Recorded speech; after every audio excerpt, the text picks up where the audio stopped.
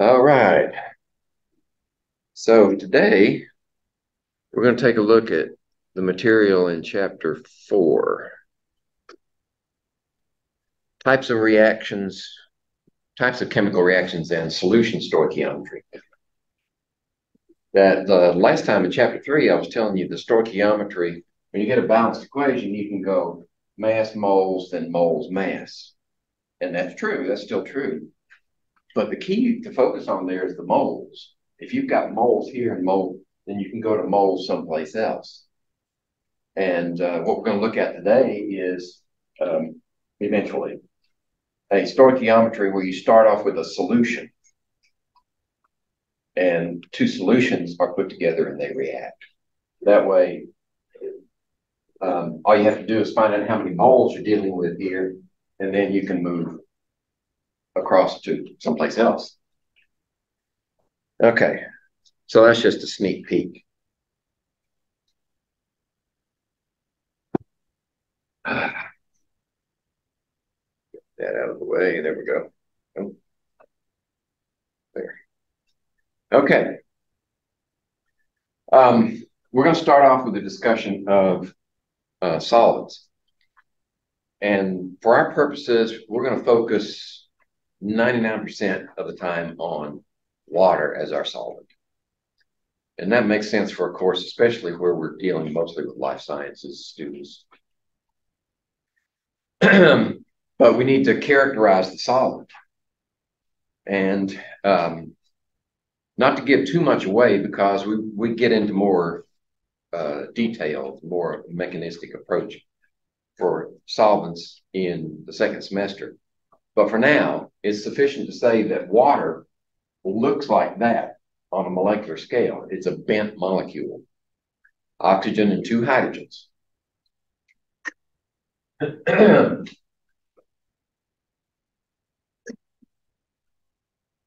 Actually, it's later in this semester we learn how to do that. How to, how to show that water is a bent molecule. Now, the importance of being bent like that is that there's a thing that we'll discuss later. It's called electronegativity. How strongly will an element draw electrons to itself when it's bonded to some other element? So the electronegativity here between oxygen and hydrogen, oxygen is more electronegative, so it's going to draw electron density toward the oxygen. And we use a small delta with a, uh, with a negative sign. And then that leaves the hydrogens deficient in electron density. So you have a slight shift in charge over the old whole molecule. And to be consistent, I should put two there. What that gives you is a molecule that's polar. Uh, think of a magnet. Magnets have north and south poles. Well, we think of it in terms of electro, electron distribution and if we have more electrons up here, if they spend more of their time here than they do there, that gives us a slight negative charge and makes it a polar molecule. And we use a, an arrow with a plus on this side because that shows us where the pluses are. And that's the negative side. So overall, the molecule um, has a slight negative charge on one side and slight positive on the other side. That has implications for um, what things it can dissolve and what things it can't dissolve. Um, have you ever heard the expression like dissolves like? No? In chemistry, that's probably one of the first things we learn. Um, and what we're talking about is like substances dissolve each other, but it's based upon their polarity. So uh, polar or ionic compounds will dissolve readily in water. Uh, that includes uh, table salt. One, uh, it breaks apart into sodium chloride ions. Or sugar, which has lots of hydroxyls sticking out everywhere. And I'll show you that in a minute. They're, they're polar just like this is polar. And the interaction between those polar molecules draws them into solution. Whereas nonpolar molecules like, uh, well, I don't know, oil, right? oil is nonpolar, it will not dissolve in water to any uh, significant degree. Let's see, did I get somebody else? Yeah, Alexis.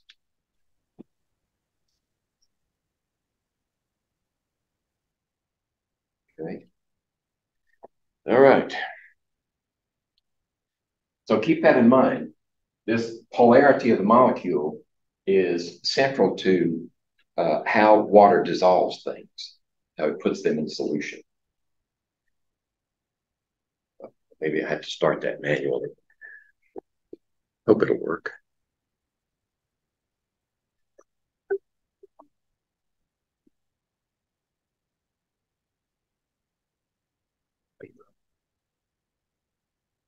This may not have any narration.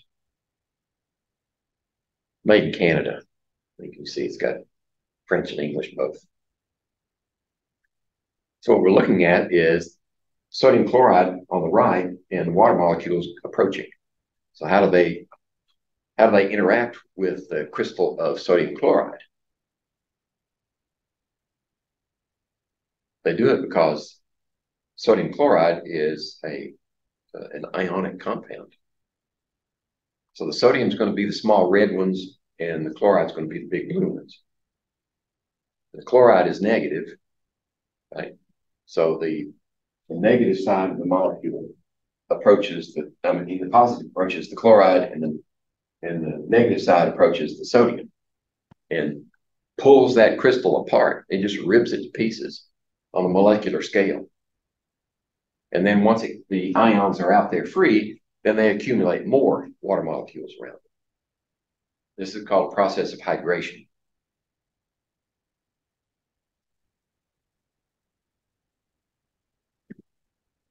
Here we go. The crystal is falling apart.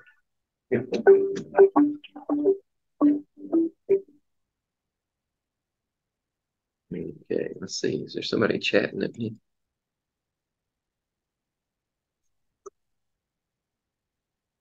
Oh, okay. No problem. All right. So when we're describing the solution, we've got agreed upon terminology. The solute is the major component. And for aqueous solutions, we can assume it's going to be water. And when we write the compound in aqueous solution or the element, whichever the case may be, we use this designator after it. So if we said sodium chloride, in aqueous solution, that's the way we write it. And we knew it would not be a solid crystal, it would be in solution. And that's the, this is the solvent. Any other solvents, we uh, designate the solvent as the major component. When you start dissolving something into it, the major component is the solvent. So if uh, we say water's the solvent, we start to add uh, sucrose to it, like table sugar, like we're making the hummingbird feeder. And um, does anybody remember how much, if you make your own hummingbird uh, liquid, what's the ratio? One to one, right? One cup of water, one cup of sugar. so that's roughly equal amounts. Right? So which one's the solvent? Well, we, we assume the water is the solvent in this case. In fact, that's a case where you can put more solute, a minor component, you can put more solute of table sugar in solution than you have water eventually. You can make it that concentrated.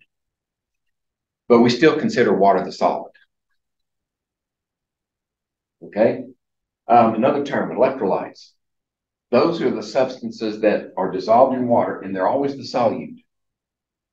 Solute that dissolves in water and will conduct an electrical current through the water. Uh, how do we tell that? Well, the, I think the next uh, video will show you. You just have a completed circuit, except for the two electrodes that go into your solution, and they're not connected. So the only way you can connect them is through mobile ions. Okay. And um, any substance that's dissolved in water and allows the conduction of electric, electric current is considered an electrolyte. Now, in medical terms, they're sort of related to the medicals. Like if you get your um, blood or urinalysis back from uh, whoever, I just got one yesterday from LabCorp, and it lists your electrolytes, and there'll be sodium, potassium, uh, magnesium, calcium, chloride, um, maybe even fluoride. I didn't see fluoride on mine, but it, it would be an electrolyte in your sample. Come on. All right. So I do that manually. Now we distinguish between strong electrolytes and weak electrolytes. Strong electrolytes typically are those compounds that completely dissociate into uh, their ionic components. Sodium chloride would be a good example of that. It completely dissociates, so it conducts electricity very efficiently. And if you if you connect your circuit through a battery and have a light bulb there, the bulb's going to be bright. It's going to have uh, maximum current flowing through the circuit. Weak electrolytes, on the other hand, will conduct electricity, but they don't produce as many ions for conducting current. So the current is decreased and that little light bulb is dimmer. Okay. Non-electrolytes are those that, that do not conduct electricity at all. Table sugar would be one of them. You can put a lot of sugar into solution, but it doesn't ionize. It's the whole molecule goes into solution. All right. Come on. No, not going to cooperate. The battery's not dead, is it? No. Well, I guess I'll just have to do it the old-fashioned way. Elect electrolytes and non-electrolytes are in this uh, video. We know from various lines of experimental evidence that solid sodium chloride consists of an ordered three-dimensional array of sodium and chloride ions. Solid sodium chloride is not a conductor of electricity. The ions of the ionic lattice are held in place by the strong ionic interactions in the solid and therefore are not free to move under the influence of the electric field. When sodium chloride is dissolved in water, it forms a solution of separated sodium and chloride ions. The presence of ions in the solution is responsible for the fact that the solution is a conductor of electricity. Substances such as sodium chloride that exist in aqueous solution entirely or nearly entirely as ions are called strong electrolytes.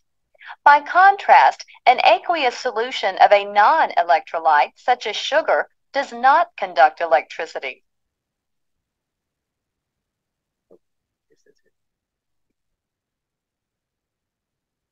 We know from various lines. Oops. We don't want to watch that again. Okay.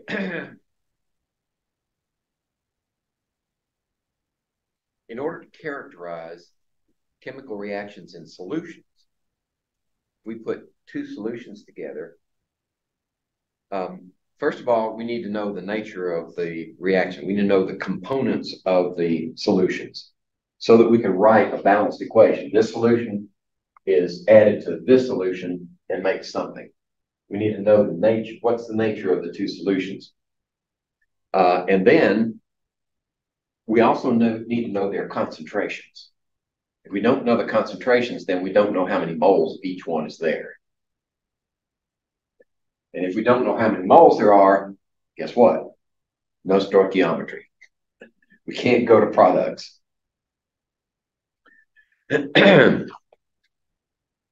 So we need a way of expressing concentration. Um, probably the most commonly used one in chemistry is the molarity. And we abbreviate that with a capital M. And that's fair because there's no element on the periodic table with just one M. We got some M's and others, like MO from molybdenum. Let's see, what's another M? MT for meitnerium. This the first one that popped up, Mn for manganese, but there's no one M, so that's good. One capital M is molarity. And what that means Uh, molarity is the number of moles, and there's my abbreviation for moles, right? Little n, number of moles of solute per liter of solution. So that means if you have a liter in your possession and you know the concentration, you know exactly how many moles are there. And this is also an in uh, intrinsic property. Uh, in other words, uh, it doesn't matter how much you have. If you know the concentration, uh, you could have 10 liters, 100 liters, it would still be the same number of moles per liter. And if you take out from a larger volume, a smaller volume, say 10 milliliters, then we can calculate how many actual moles are there because we have this ratio. It's a, it's a conversion factor. This concentration unit can be used as a conversion factor. And we'll do that. So our example here is six moles of hydrogen chloride dissolved in water to a total volume of two liters gives us a three molar solution. And this is this is critical. We're talking about the volume of the solution after you get the solute in solution. And solutes go into solution different ways. Some of them, um, if you have a, a, volume of a solute, the volume of a, a, solvent, you put them together, then their final volume, uh, more often than not, is less than the sum of the two. So think about it this way. When you put that solute in solution, where does it go? Well, if there are holes, it's going in those holes, right? And those holes were already there to begin with right? So it's taking up it's taking up space that was available, and that would reduce the total volume that you would get from adding both volumes together. That makes sense. so when you make up a solution, you want to be sure that the solute is completely dissolved in a certain amount of the solid, say water, before you bring it to the final volume. I think I've got some slides on that, so I'm going to steal my own thunder right now. Okay, so here's a problem. If we have 500 grams of potassium phosphate, potassium phosphate, here's where you got to know your names and formulas. Right? You can convert back and forth between the two potassium, right? K, correct? Potassium. Phosphate is a polyatomic ion. That should be obvious. There's, there's nothing in, in this thing that's phosphate. There's phosphorus, but no phosphates as elements. So it's a polyatomic. So you look in your you look in your uh, table at the back of your right back of your uh, well if you're sitting in an exam it'll be on one of the last pages Find out what phosphate is and what the charge is. Right? Potassium is what charge? One, right? It's in the first column. It's an alkali metal. And you're pairing it with a phosphate, which has what charge? Do you remember? Three minus.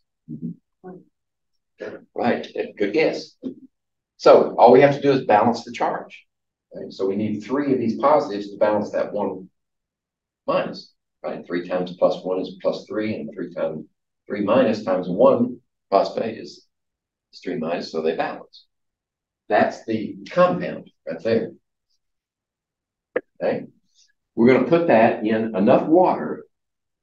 Right, so this is the mass. We're going to put that in enough water to make a final volume of 1.50 liters. Okay. Now, is there any way we can, the question is, what's the molarity? Can we calculate the molarity from what we have up here? We can, but not with these values. This has to be converted to moles. So we've got this many grams. Right? How do we convert to moles? Right? Grams on the bottom, moles on the top, correct? Remember, when those two are in a quotient, think molar mass. What's the molar mass of K3PO4? So we need to look up, we need three potassiums. Let me look over here. I think it's 39, 3910. So it's three times 39.10. And we have one phosphorus. Let's go ahead and do this one. 39.1 to two decimal places. This is 117.3. Um, and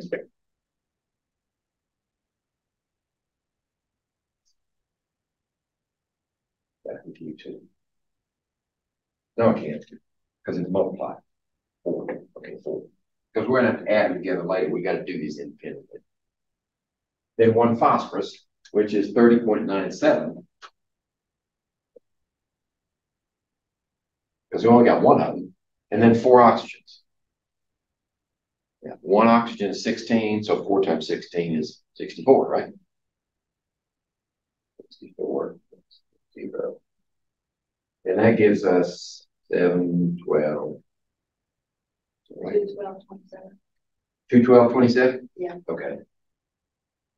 I'll take your word for it. So that's two, twelve. Well, well, let's see. We're limited here, so we'll make a point group. And that'll tell us how many moles of potassium phosphate we have. We need to divide five hundred by two, twelve, three. So I get 2.354 grams. That's ah, excuse. It'd be a waste of time if I ended up with grams. Ball. Okay, so now to calculate molarity, it's just moles of solute divided by the total volume. 2.355 moles divided by 1.5 Figures, Okay. And let's see. Oops. Thrown away a significant figure. So we can keep three of them, 1.57 molar. Okay.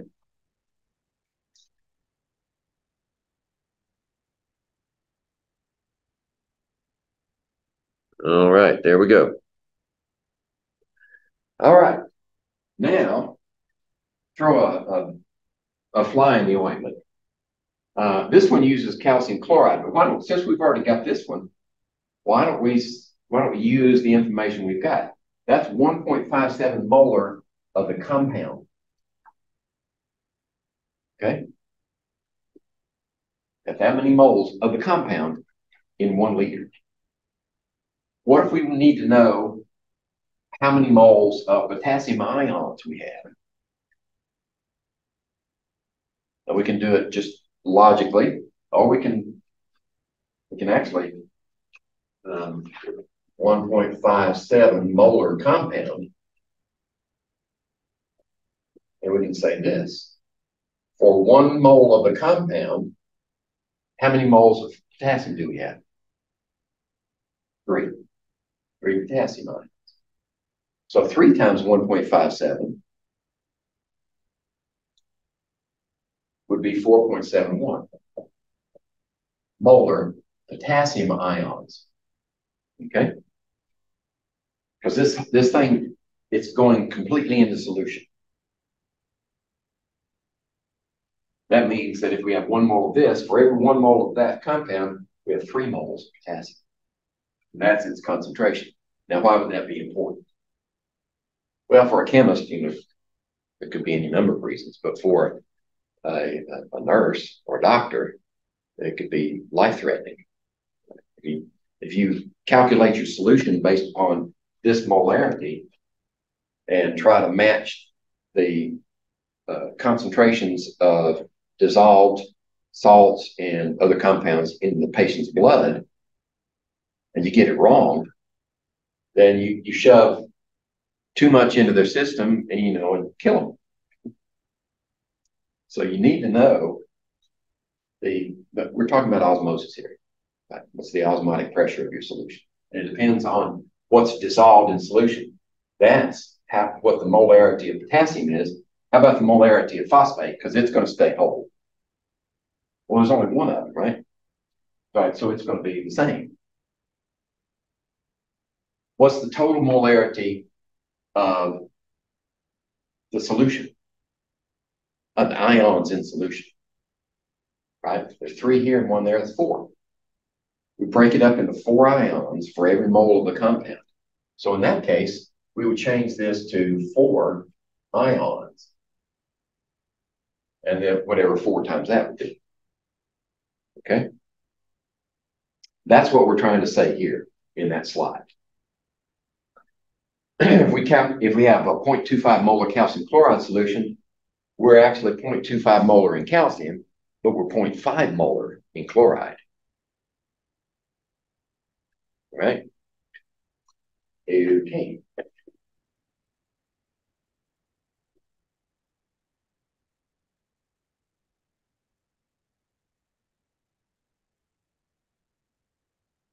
Feel like you're on a speeding train.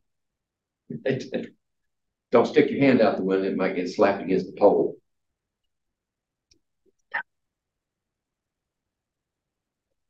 All right. So which of the following solutions contains the greatest number of ions? All right, for this one, we want to uh, go to Henry Ford again. Okay, so we have 400 milliliters. Uh, yeah, four significant figures of 0.10 molar sodium chloride. Okay, greatest number of ions. So before we put the others up there, how would we calculate the number of ions here? Remember the, the uh, formula is number of moles divided by liters of volume. Okay? And that's like any math formula.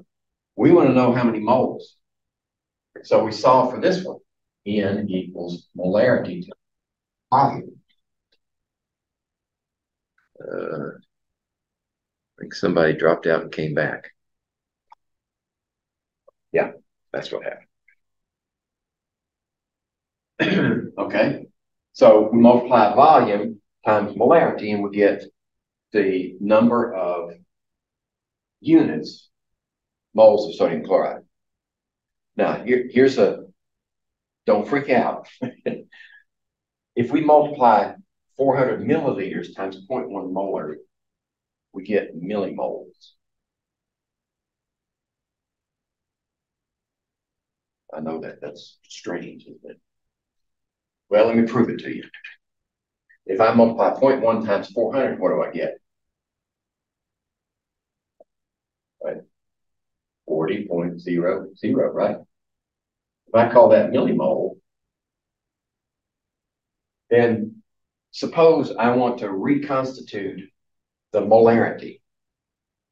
If I divide moles by volume,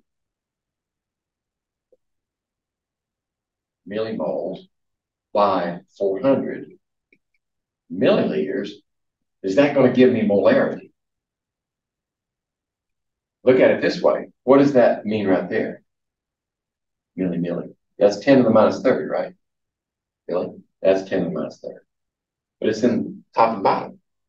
They cancel. So it's moles divided by liters. And it gives me 0.1 mole. Okay? I guess in math they call that a proof. the reason I introduced that is because many times it's more convenient to just go ahead and multiply milliliters times molarity and work with millimoles until you have to do moles that saves you a step. Okay, if we do it that way, and we do each one calculating millimoles, then we can compare millimoles. It's like comparing apples versus oranges.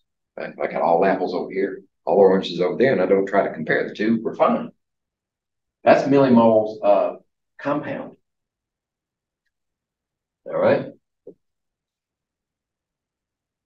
Well, we're looking for the greatest number of ions.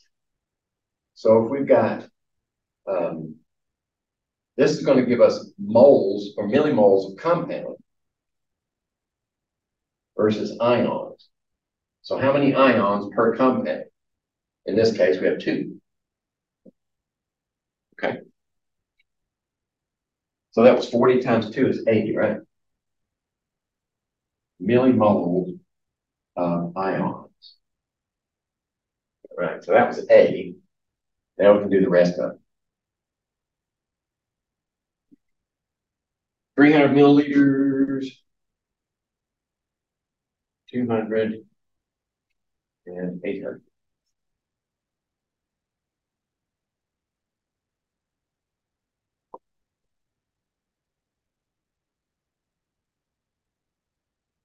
All right, what do we have here? Calcium chloride.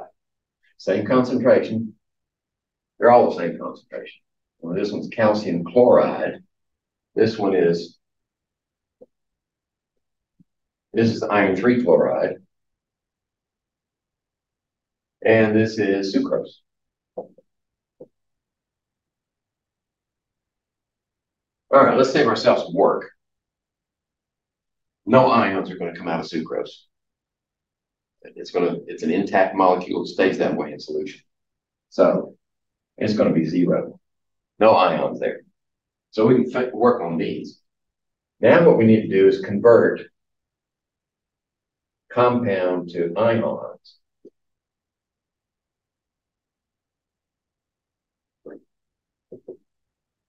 Okay, what's the ratio here? For every one compound, you get three ions, don't you? One, one cation and two anions. That's three. All right, so this is going to be uh, 30 times 3 is 90, correct? 90 millimoles of ions. And this is, I hear some. Oh, I was going in my head, sorry. Okay. Uh, 20 times, there's four here, right? One iron and three chlorides. So four times 20 is eight.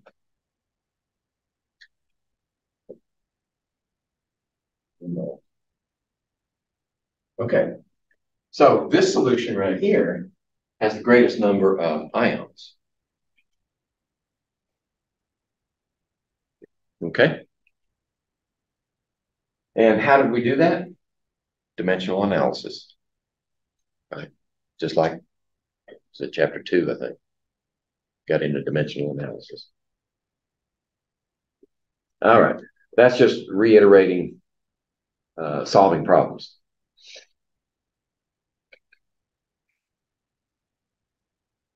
And it's just making the point. The solution with the greatest number of ions is not necessarily the one that has the greatest volume or the highest concentration. Right? That's the greatest volume, well, and they're all the same concentration. But even if you did it with different concentrations, you'd still have to go through this to determine, uh, to answer that question. And by the way, um, I write a compound here, which is true. Um, but I, I want to make a distinction between this type of compound, which breaks up into ions, and we usually refer to them as, as formula units. Because remember, um, this is the simplest whole number ratio of sodium and chlorine in that cube. Right? Cube could be that big, it could be this big. So we don't write sodium with a subscript of 45 billion and chlorine with a subscript of 45 billion. Simplest whole number ratio, one to one, one to two, one to three. It's only the molecular compounds like water, sucrose, um, the subscripts actually mean they're the simplest whole number ratio, but they're also the number of atoms in the molecule. Okay. In case you run across formula unit, think ionic compounds. Okay, dilution. when I was working in uh, uh, in soil, we would assess the fertility of soils very often simply by making up a, a solution, uh, a prescribed solution of some kind uh, that had been calibrated for a certain crop and we would extract the soil with that solution and then analyze the components. Usually with a, um, let's see, at that time I was using an atomic absorption spectrophotometer. Uh, but now, and, and later, actually, when I was working out here at the uh, USDA, um, we had a, a, a, atomic absorption spectrophotometer, but but we also had uh, and uh, uh, a plectus, a plasma spectrometer, argon plasma spectrometer, which would analyze much faster. Anyway, um, when we extracted these uh, soils, we'd have hundreds of samples a day. I, I was just down the hall from the soil testing lab, and they used to do some of the testing for me, and I'd do some of my own testing because it was a specialty. But if it was like a uh, something that they did routinely, you know, I could give them my samples and they'd run them for me. But when you have that many samples and you need uh, lots of solution of a certain concentration, it's difficult to prepare that solution in sufficient quantities uh, if you make it from scratch, like from the solid uh, ionic compounds, dissolve them in water, because some of them went into solution rather slowly.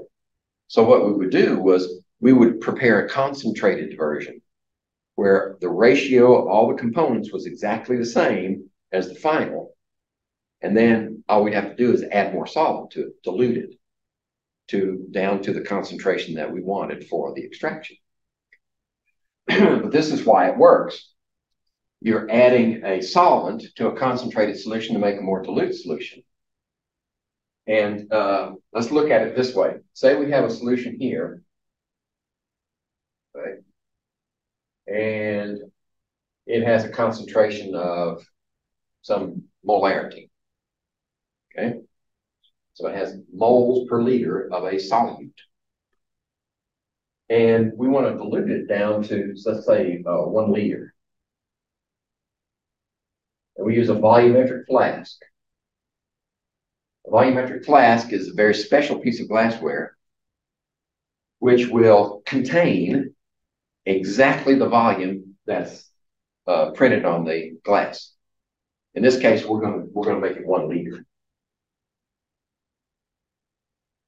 Right? So if we fill this up with water to that point right there, the bottom of the meniscus on that line, then we will have one liter, whether it's pure water or a solution, it will still be one liter. Plus or minus, uh, let's see. Class A glassware is like uh, 0.0, 0.05%, I think. So it's, it's really accurate. Okay, this is our final volume. Our initial volume over here depends on how much of this we want to take out. Right? We don't want to take all of it out. I mean, if we put all of it over here, right, um, it may be too much or it may be too little, and we really don't know. Uh, so we take out an exact amount. So out of here, we take out a volume of the solution, usually measured in milliliters, and usually with a volumetric pipette. It's a special device, like that's a special device. This, and it has a bulb here, and then it goes down here to a tip. Yeah. And marking right here. And depending on the pipette, it'll be a certain volume, say 10 milliliters, 25, 50, 100, whatever the case may be. Let's say it's uh, 100, say 100 milliliters. Okay? So if we use that and take out a volume here of 100, uh, 100 milliliters, okay? and we put it in here, right? Call that volume two. But actually, that's not volume two. This is volume two. That's volume one, that's volume two. We take out this exact amount, put it over here, the final volume would be volume two. Okay. What's the molarity? Well, it's what we want, or um, it's what we calculate. Now, how many, um, the relationship here is um, Remember, moles equals molarity times volume, right? One, one. So the number of moles coming out of here, we can calculate by the molarity and the volume we extract. Okay? Uh, we did that calculation before. The moles that we put in over here are also equal to that molarity times that volume. If we know the molarity, the final molarity, times the total volume, we can calculate how many moles are actually in that container. Okay? So the moles, moles are the constant. The moles we take out here are the same moles we put in here. Exactly the same. Right? We pulled out a certain volume, that's this number of moles. Put it over here, same number of moles. So N1 equals N2. So remember the, the mathematical rule, if A equals B and B equals C, then A equals C, right? If this one equals that, and that one equals that, then those two are equal. M1 V1 equals M2 V2. That's where that formula comes from. Now, to use it, you only need to know three of those terms, and you can solve for the third one. Okay? Um, for my example, where I, we were diluting the solutions, we know, uh, if we write it this way, the concentrated molarity, we know that. And, um, but we don't know how much of the volume to take out. But we do know our final volume here in this container, the diluted volume, and we do know our target molarity. Okay.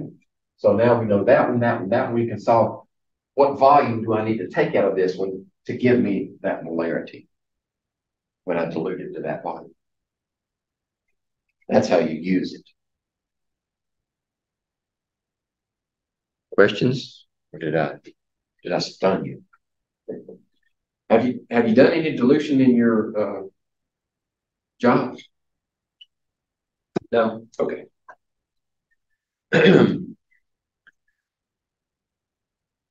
All right, and here's an explanation for why it works in animated uh, PowerPoint form.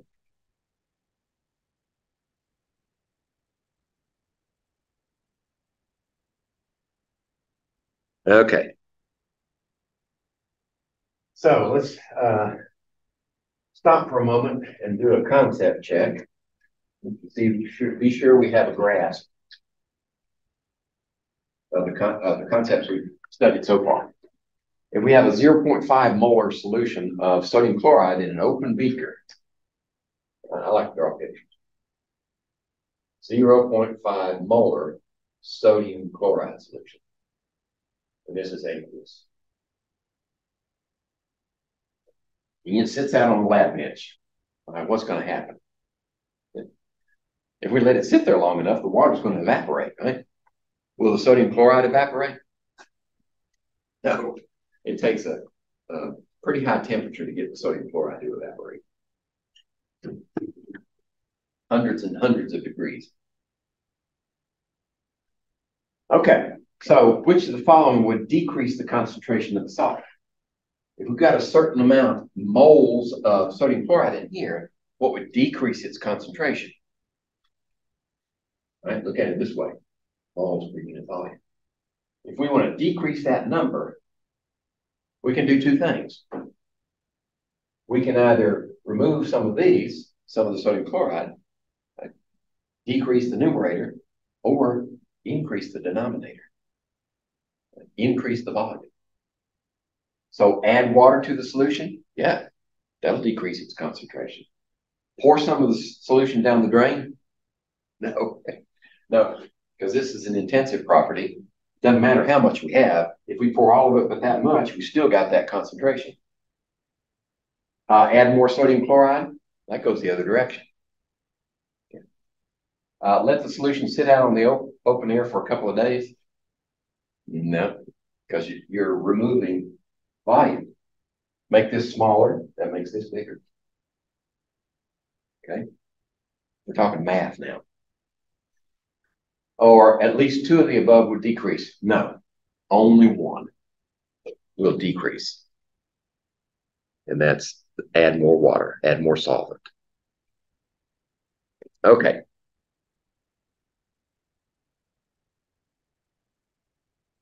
Doing on time. Yeah.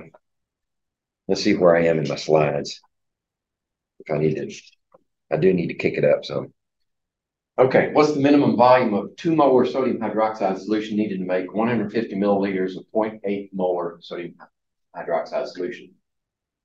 This looks like a dilution problem because you've got two concentrations and two volumes being discussed here. So uh, two molar sodium hydroxide is the concentrated molarity.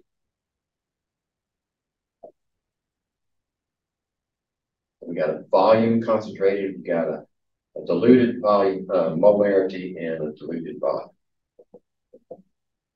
It helps to put this stuff in a form, take it off the page, right? because word problems are designed to confuse. So take it off the page and put it up here so you can actually see what you got and put it in the right place. Uh, we want to make 150 milliliters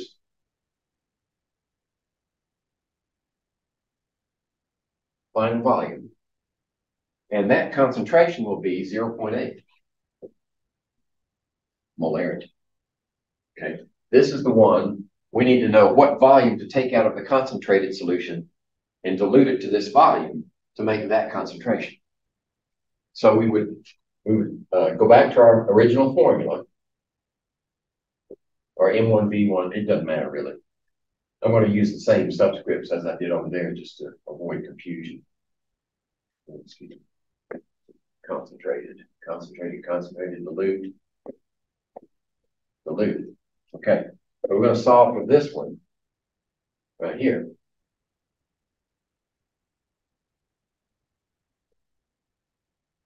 Over C. Okay. Notice that what we have here are ratios, right? So when, when you have this situation, you don't have to change the volume to liters because the liters are going to cancel. Molarity will cancel right here, and liters would cancel here, but milliliters will also cancel. Right, so we can save ourselves a step. All we have to do now is plug in the values. Uh, diluted 0.800 molarity times volume diluted 150 milliliters divided by concentrated 2.00 molarity. So molarities cancel and leave us with milliliters. Okay. So what's uh anybody beat me to the punch? 0.8 times 150 divided by 2 is 60. Let's say we've got three significant figures, 60.0 milliliters. That's the volume of the concentrated solution we need to draw out. Am I animated? Yeah, somewhat. There you go. To use the unit millimoles, you couldn't do that there? Because the molarity cancels out? You would need to.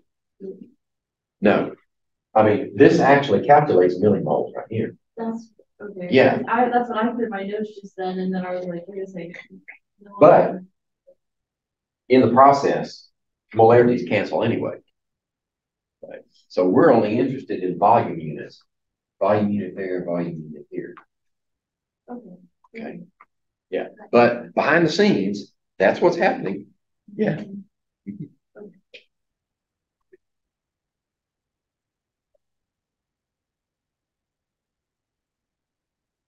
All right.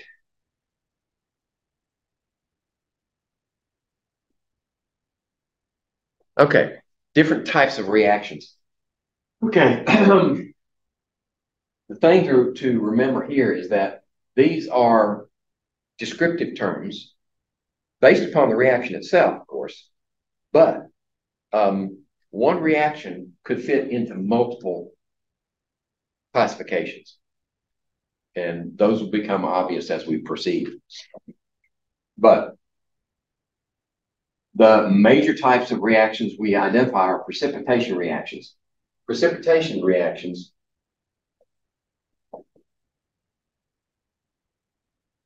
result from um, two or more solutions solutions combined and they produce a solid.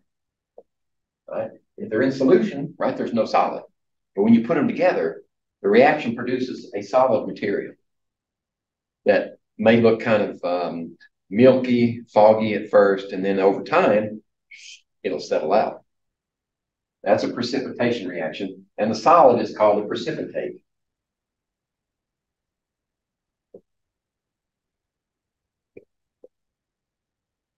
and it's designated with that, right, that parentheses S when we write out the, the equation, which we'll do. Acid-base reaction is just what it, that says. You're reacting an acid with a base. Remember when we were naming them, uh, I'm going to use hydrochloric acid as an example. And then sodium hydroxide as the base. we didn't need any special naming conventions for the bases, right? You just, just name what they are. Sodium, that's a polyatomic ion, hydroxide, sodium hydroxide. But uh, hydrogen chloride in solution is called hydrochloric acid. Right, so the acids have a special naming convention. The bases don't. Okay, that's an acid-base reaction. And it produces you swap, you take this hydroxide and that hydrogen together, it makes water, right? Two hydrogens and one oxygen make water. That's a liquid. And then you take the cation and the anion together, and they're still in solution. That's an acid-base reaction. Um, oxidation reduction reactions, we call them redox. Redox reactions. These are the kind where electrons are transferred from one atom to another. Right? Just transfer of electrons. And we're going to get into these. Right now, we're just describing them. We're going to get into actually doing reaction stoichiometry with these things later transfer electrons. Okay. We got other types, and these can be, uh, these different types can be applied to a single reaction. Uh, you could have, uh, let's see. Well, a combination reaction is, uh, a, or a synthesis. They're, they're synonymous these two terms.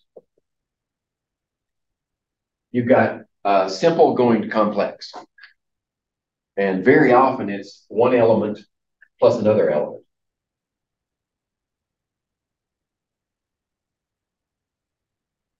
That would be the simplest type of combination or synthesis reaction.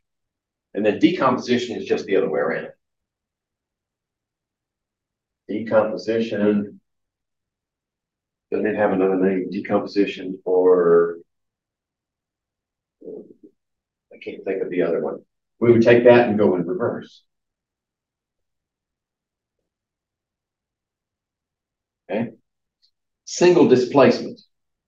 Single displacement. Displacement. Reaction is where you have uh, an element and a compound. And the X replaces one of these things. Usually it replaces the, uh, the cation. It's like a metal replacing this cation. So that in that case, it would be um, Y then would be the element left over, and X would be the product. So they just swap places. A double displacement. Yeah. A double displacement is the next step up. Say we have this compound, and uh, let's do it this way. And say we have an AB and a CD. Then the cation swap places. Is the way I think of it. So A associates with D and C associates with B. That double displacement. That type of reaction is very common for the precipitation type reactions. So you can have, that's one example where you can have, uh, this is also this type. This doesn't have to be that type, but if you have precipitation, it is a double displacement. And combustion.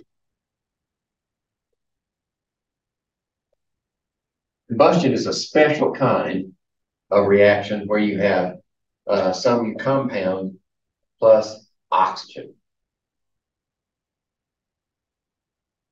That's required. You have to have oxygen to be a combustion. All right.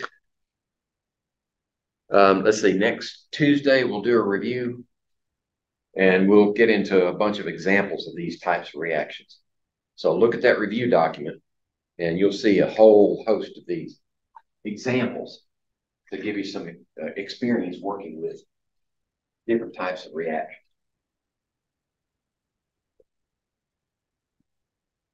All right. Uh, double displacement. Uh, I already mentioned that. Double displacement precipitation. Right? So we don't have to spend time on this slide. I've actually explained those.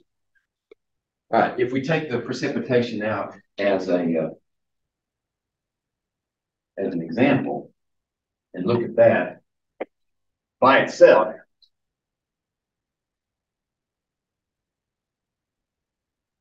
the precipitation here in this example, barium nitrate in aqueous solution and potassium chromate in aqueous solution, when they combine, take the chromate, the barium and combine it with the chromate and the potassium and combine it with the nitrate and see what you get. Okay. This is one of those reactions where I might give you the reactants, but I don't give you the products because the products are, are easy to figure out. It's just a double displacement. And then you look to see if one of them will precipitate. Does it form a solid? Now, how do you know that? Well, I've got it up here, but you've also got a bigger one right here on the back of your review document. There. That chart tells you when you combine uh, one of these anions on the left with one of these cations on the top, then you just follow this one over until it meets that, and you see, is it grayed out? If it's grayed out, then it precipitates. If it's not grayed out, then it doesn't precipitate, stays in solution. So that, that would be what we would find with uh, potassium nitrate. If you looked uh, potassium across here and followed the nitrate, it's clear, right? So uh, it stays in solution. But if you look at barium chromate, go across here till you find barium and drop down to chromate. Let's see, keep going, keep going. Chromate's at the bottom. There it is. It's grayed out. Okay. Now, all this writing down here, these are the rules that gave rise to the table. If you were chemistry majors, then I'd have you memorize those rules. And the rules are set up, if you're interested, they're set up so that number one rule takes precedence over anything below it. Two takes precedence in, against anything below it. They're in, in hierarchical order. So if you got to break a tie, then the rule above takes precedence. Uh, for example, the first rule is uh, compounds of group one elements, lithium, sodium, potassium, rubidium, cesium, and francium, francium, and ammonium are all soluble every one of them. So any compound with one of those alkali metals will be soluble. Uh, then the second one is nitrates. Nitrates, chlorates, perchlorates, and acetates are soluble, all of them. So we got a double whammy there, potassium or nitrate together, right? It has to be soluble. But the barium chromate is, uh, let's see, chromate, chromate, chromate.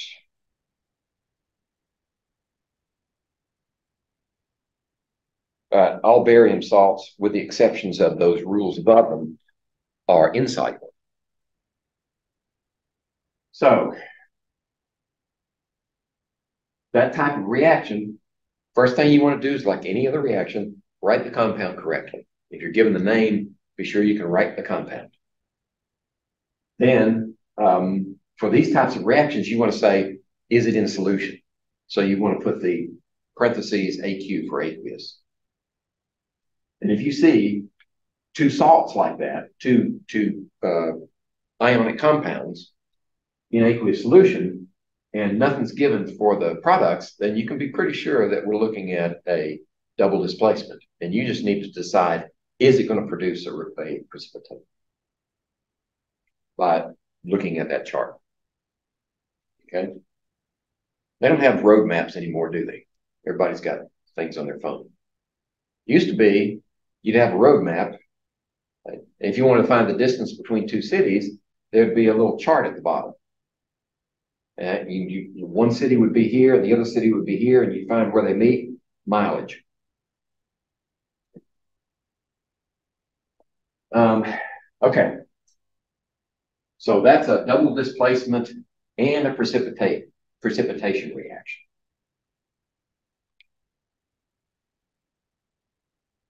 Oh, okay. Uh, I know I'm going to go over today, so if you have to leave, that's fine. But I will say, one second, stop that. I will say that um, if you have to leave, then the lab that we're going to do next week, the um, waters of constitution and hydration, we're not going to have time to do a pre-lab discussion of, it, but there are actually two pre-lab discussions in Brightspace under that under that lab in that module. Then you can you can get some insight about the lab ahead of time. And of course, I want you to fill out your notebook to be ready. Right? We talked about that at the very beginning. Okay, so let's see. What do we have here? Yeah, we had sodium chloride in one, silver nitrate in the other one. Now we're going to drop some of the so, so sodium chloride solution into the silver nitrate solution. So what would that look like? Sodium chloride plus silver nitrate produces what? Okay, stop. Well, the silver is going to combine with the chlorine and the sodium combined with the nitrate, right? It's a double displacement. So the sodium and the nitrate are soluble, right? Alkali metal and nitrate, both of them. So we know it's soluble. And then we go and look up silver chloride in that uh, chart. And we find that it's a solid. Okay. So we wrote these correctly. We just need to see, is it balanced? One sodium, one sodium, one chlorine, chlorine, one silver, one nitrate. Okay, it's balanced just like it is. That's a double displacement reaction. And um, one,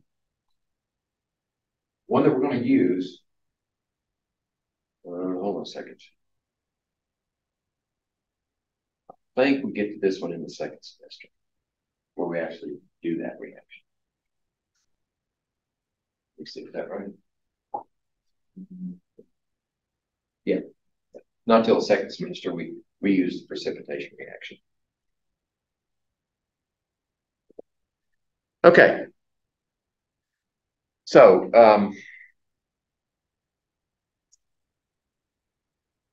if it's soluble, then we continue with the AQ.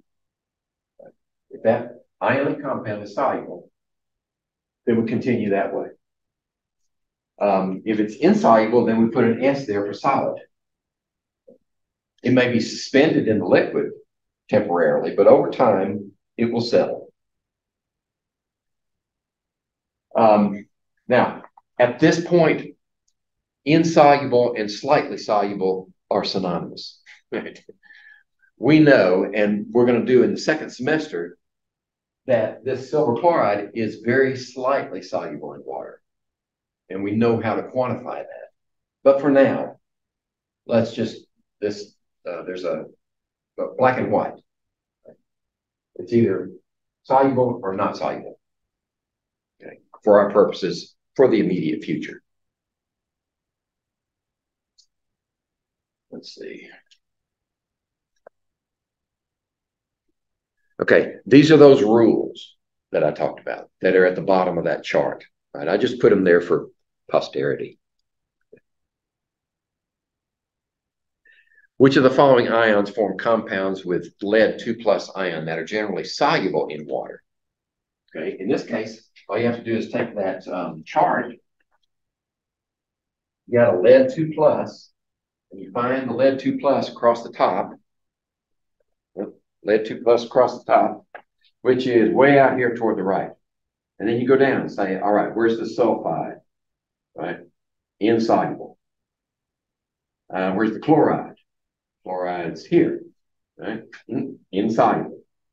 Nitrate, well, we know all nitrates are soluble, so we don't even have to look. Nitrate is soluble. Sulfate, lead 2 plus and sulfate. Uh, where is where is where is it? Sulfate, sulfite. There's sulfate. Yep, it's insoluble, forms a solid. And then the last one is a a ringer. You don't form compounds with two cations, right? So the only one that's soluble is the um, nitrate. Rest of them are insoluble. Using that chart. All right. Now, when we write these balanced equations for, um, for our precipitation reactions, uh, this is the one that, um, that we just looked at in that video. This equation that we, that we write there is sometimes called the molecular equation. Actually, more properly, it would be the formula equation because we don't have molecules there. We just, we have ion, ionic compounds. So the formula equation is complete. It has, has everything in there and nobody's separated as ions. We know that this compound right here in solution is going to be silver ions and nitrate ions separated. We know that sodium and chloride ions are going to be separated in that aqueous solution. We know that in the as the product, sodium and nitrate ions are going to be separated in solution. The only one that's going to be solid is the silver chloride. But uh, this is easier to write and balance. But after you get that, after you get that equation balanced, this formula equation, then we can actually approach reality. And this is the complete ionic equation where we separate out the ions silver ions in solution, nitrate, sodium chloride ions in the reactants. They're all in solution. Then when they react, you get silver chloride, it's still solid, just like it was in the formula equation. But the sodium and the nitrate are still in solution. Okay, that's the complete ionic equation. Now, what can we do with that one? Well, if we want to simplify it, right? You've got nitrates on the left and nitrates on the right in the same uh, molar amounts with the same coefficients. They can cancel out. You can do the same thing with the sodium. Get rid of the sodium. So now what do you got left? What you have left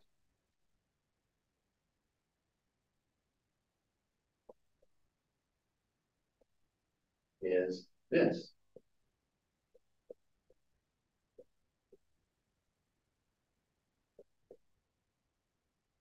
That's the net ionic equation. Right? We just canceled out the things that are still in solution on both sides. Now, why would we want to do that? Well, there's several reasons. One of the most practical reasons is if, uh, say, I want to set up a lab for you guys to, to do this reaction, but um, strangely enough, I don't have any sodium chloride in my store. Well, all I needed is a compound that will go into solution and produce uh, chloride ions, but the, the companion cation can be anything as long as it stays in solution on the product side. So any one of those um, alkali metals will work, like lithium, potassium, rubidium, chloride, any of those will work. And we get the same reaction. Okay.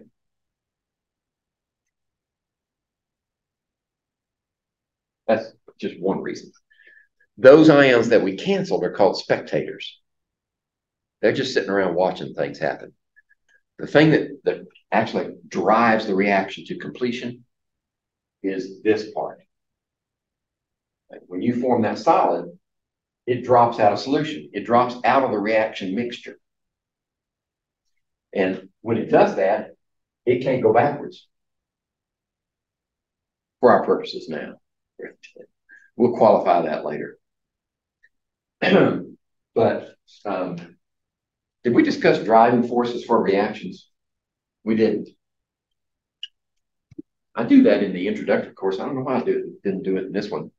There are various driving forces that, that cause a reaction to move. One is the formation of a precipitate. The other is the formation of a gas. If you form a gas, rather than make a solid, the gas goes, it's gone. It's not in the reaction mixture anymore. So it's, it's pulling the reaction in that direction. Um, the other is uh, formation of water in aqueous solutions, acid-base reactions.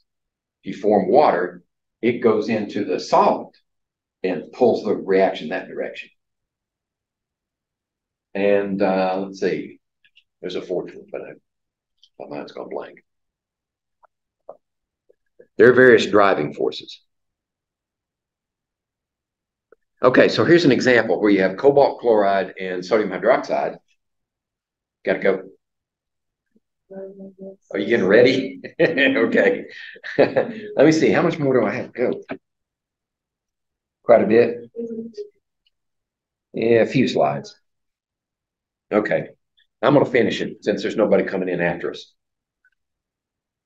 Um, this is an example where cobalt chloride, cobalt 2 chloride, and sodium hydroxide react and produce cobalt hydroxide as the precipitate. We write the balanced equation, then we spread everything out into its ions, then we cancel the spectators, and that's what you need to be able to do. And there are a couple of examples in the review document that will give you practice. Okay. Um, stoichiometry. Now, we talked about limiting reactants last time. You can have limiting reactants in any reaction. And uh, to solve a stoichiometry problem for solutions, uh, you follow some of the similar procedures. One is you identify the species that are present and combine in solution. Right? And you, you write the balanced equation. Um, you can either write the, the entire equation or you can write the net ionic equation and um, it, it'll work either way. Then you have to calculate the number of moles that you have of the reactants. And say um, which one then is, if you have uh, amounts for both uh, the reactants, then you also have to say which one is limiting. The one that's limiting is the one that's going to run out, and it dictates when the reaction stops. Using that information, once you know the limiting reactant, you can calculate the moles of the product. And then you can convert back into some um, usable form, either grams. If it's a precipitate, definitely you'll calculate the, the uh, grams of the product. Or if it's another reaction, then what they may want you to calculate is what's the concentration of product in solution. Right? And there's your, your chart that's in the review document right there. So let's say we have a, um, have this reaction. We have uh, sodium phosphate solution. Right? What does sodium phosphate look like? Sodium and phosphate. Right? Remember, this is a plus one, that's a minus three, so we need three of those. And we're told it's in solution, right? So it's aqueous. In, in our case, we're using aqueous solutions. And we also have lead 2 nitrate as a reactant.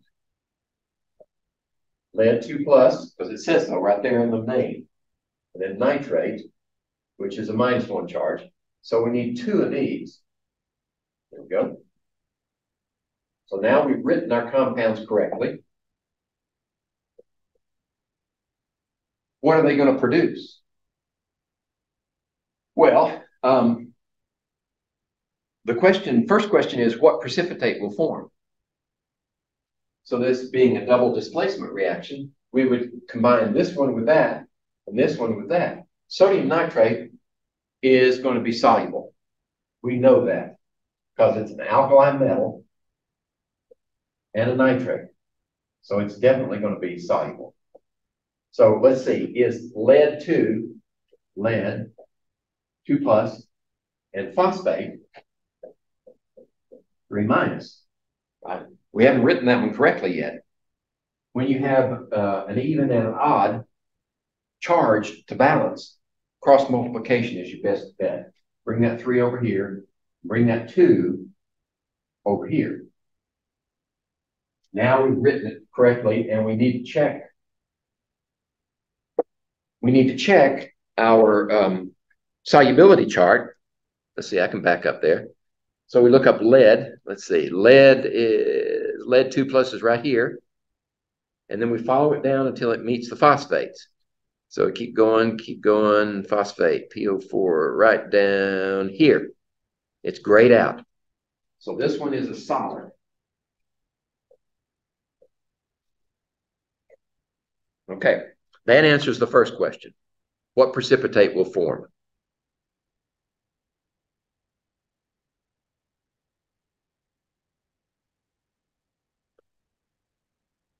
Now, um, I did it by writing out the equation. But if the question is simply what solid forms, all you need to do is say, well, we've got sodium ions, we've got phosphate ions, we've got lead 2 plus ions, and we've got nitrate ions. Right? Actually, you can do it this way. Let's leave those two, let's see, those two there, right? And let's put the cations down this side. Like that. All right. Sodium and phosphate, we've already got that one. We know it's soluble. Uh, sodium and nitrate, when they combine, they're going to be soluble also. Lead and phosphate, we know that's going to be a solid.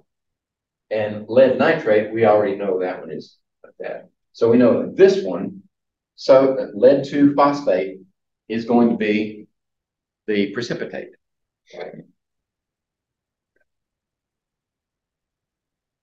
All right. The balanced molecular equation. All right, so we can go from where I left off with this equation. And you can either use the budgeting method that I showed you last time, um, or most of these double displacement reactions are, are really simple to balance. You just count up the parts. We have three sodiums here, we need three there. Now we have three nitrates. Uh, okay, this is not going to be as easy as I thought. Right, let's go back to the budget. Right, we've got sodium, phosphate. I'm not going to put the charge in. Lead and nitrate. Now, can I do that? Yeah, phosphate stays the same on both sides. Nitrate stays the same on both sides. But we can use those as our balancing units. All right, this side we have three nit uh, three sodiums, one phosphate, one lead, and two nitrates. On this side we have one sodium, we have two phosphates, we have three leads, and we have one nitrate. Okay. Now what we need to do is decide where do we want to start? Well, um, I find that when we have this type of reaction where there's a precipitate, start with components of the precipitation. Uh, we have three leads over here. We need three leads over here. Right here. Let's say three leads here. So that gives us three. That gives us six nitrates. Okay. Now we can balance the nitrates over here. We need six nitrates, right? Six nitrates. But that gives us six sodiums as well. Okay. Now we need six sodiums. So we put a two here. That gives us six sodiums and two phosphates. Six, two, three, six. Now we're balanced. Okay. That's the balanced formula equation or molecular equation, whichever I'm not particular about whether you use one or the other. What are the moles of reactants present in the solution? Okay, now we have to go back to the, um, the problem and put in some more information. Now that we have a balanced equation, let's add information that's given in the problem. We have 10 milliliters of 0.3 molar sodium phosphate. 10 milliliters of 0.3 molar sodium phosphate. And we have 20 milliliters of 0.2 molar lead nitrate. Okay. What that in the parentheses, it says assume no volume change. What can happen when you put two solutions together is they can either be more volume than the summation of the two, or they can be less volume than the summation of the two. But for, for our purposes here, we're going to assume that there's no change in volume. So the total volume would be what? 10 plus 20 is 30 milliliters. Now let's go back to the question.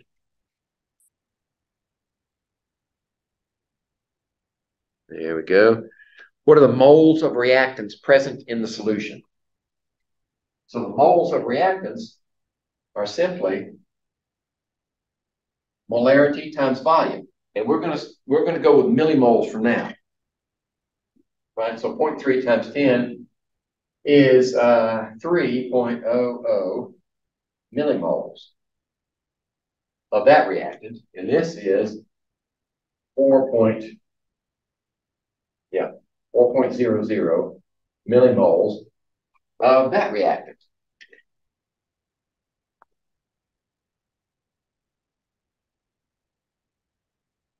Okay, three and four. That's right. Now, which reactant is limiting? Here's how you determine the limiting reactant. Um, well, actually, there are two ways. And it depends on what the final question is. Do you need to know how much solid is produced? If that's the case, then you take this milli, this number of moles of that and use the coefficients as a conversion factor to find out how many moles would that produce if all of it were used. You do that for both reactants. Okay. The other way is to say, all right, if this is equivalent to two, then is that equivalent to three? We say if this is equivalent to, to two, then we do a conversion from here to here. And that would work also to find the limiting reactant. But since we're we're probably going down to the solid, let's do it this way. Find out how many millimoles of product will this produce if all of it is reactive? Okay, so 3.00 millimoles of sodium phosphate. And we use a conversion factor that's built from the coefficients. Right? We want to know lead 3 phosphate. Right?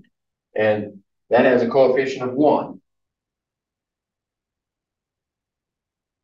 And we want sodium phosphate in the new in the denominator. That has a coefficient of two.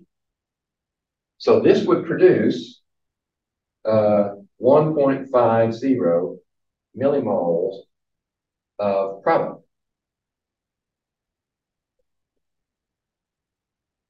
Okay, how about this one? If we use four millimoles uh, of, excuse me,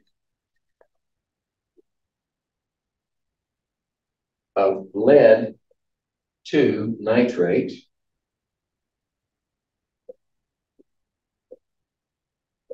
and we built our conversion factor from here, lead 2 nitrate,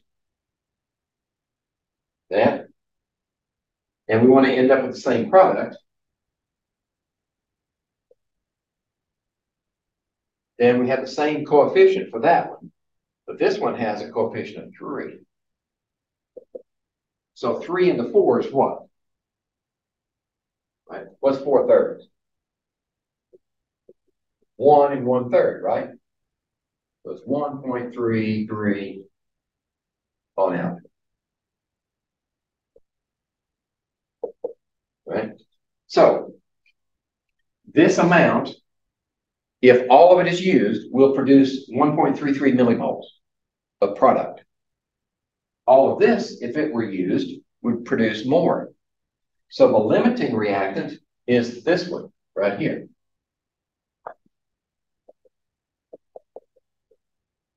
It produces the least amount, so it runs out first. This one is excess. Okay? And looks like that's the way we did it in the slide. Okay? So lead nitrate runs out first, and that's the limiting reactant.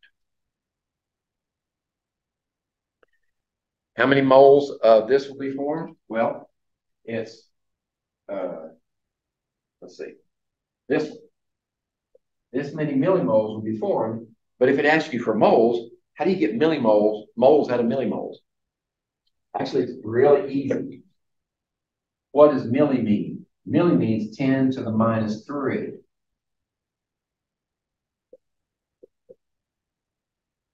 One point three three times ten to the minus third moles.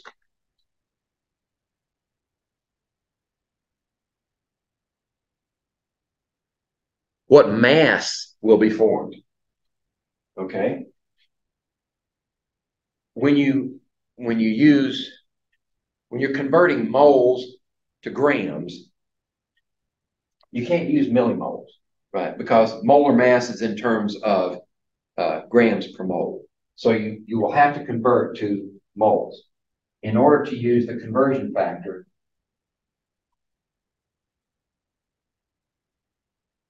which is the molar mass of that compound. So in the interest of time, I'm going to let's say it's uh, 811.54. 811.54 grams per mole times 1.33 times 10 to the minus third moles, and that's 1.08 grams.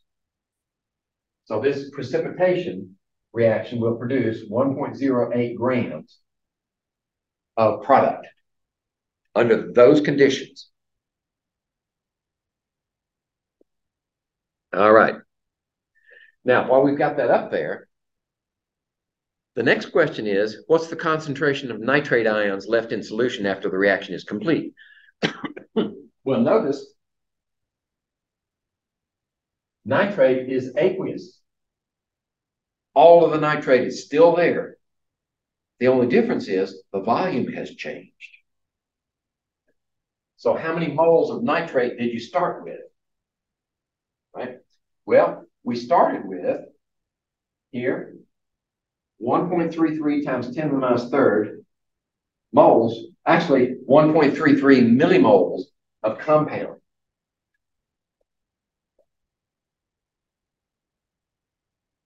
of uh, lead 2 nitrate.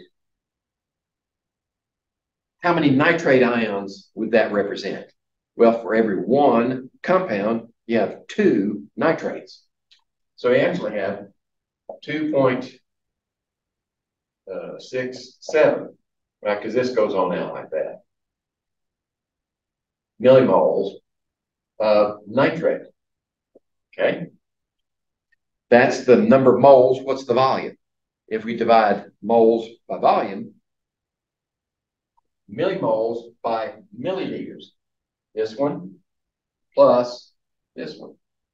So we divide by 30 milliliters.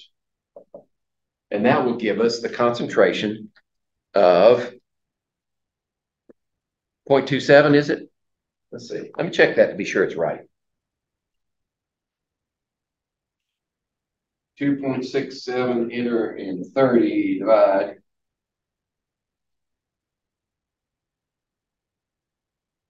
Uh, hold on a second. Concentration of nitrate ions left in solution after the reaction is complete.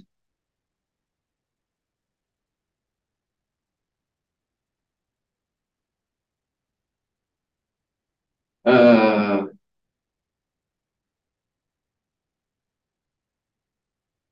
one point. Oh, hold on a second. I made boo-boo.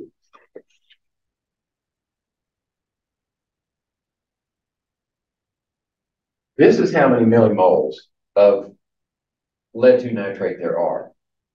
So times 2 equals 8 millimoles of nitrate. There we go. Now we divide that by volume, 30 milliliters. Okay, and that's equal to 0.27 molar nitrate.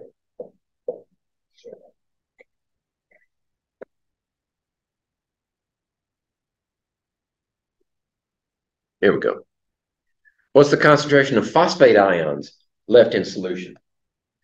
In this case, we had uh, three millimoles of phosphate because there's one of these for every one of those.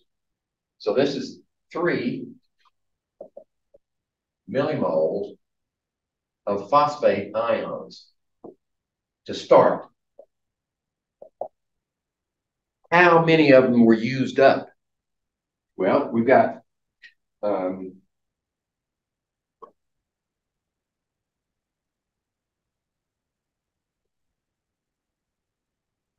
we've got this many millimoles of, uh, uh, excuse me, uh, phosphate here. Out of this three millimoles, we used up 1.33 millimoles of, of uh, compound, 1.33 millimoles of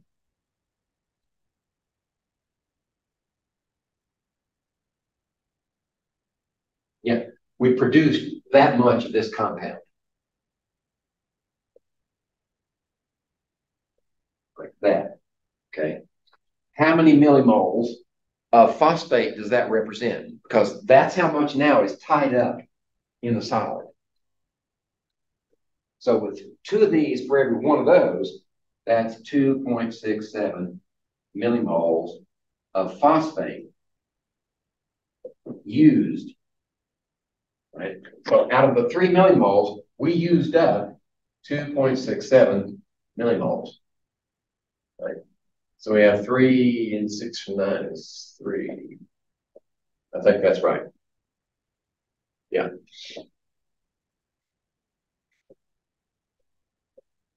This remains in solution. So to calculate the concentration, we want 0.33 millimoles of phosphate divided by 30 milliliters. Okay? And that will give us 0.011 molar phosphate. Okay? All right. So that's stoichiometry of a precipitation reaction.